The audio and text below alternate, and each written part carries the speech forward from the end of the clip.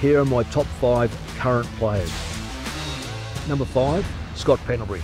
Been around forever, still controls that midfield and controls Collingwood's fate. Number four, Zak Butters. Tough, hard, he will be the soul of his team. Number three, Nick Daicos. I thought he'd win the Brownlow last year. I reckon he's a certainty this year if he stays on his feet. Number two, Max Gawn. Heart and soul of Melbourne. No Max, no Melbourne.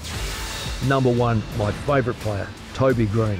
Great leader, inspiration, tough, hard, unrelenting, and will be a player that will hold the cup at some stage.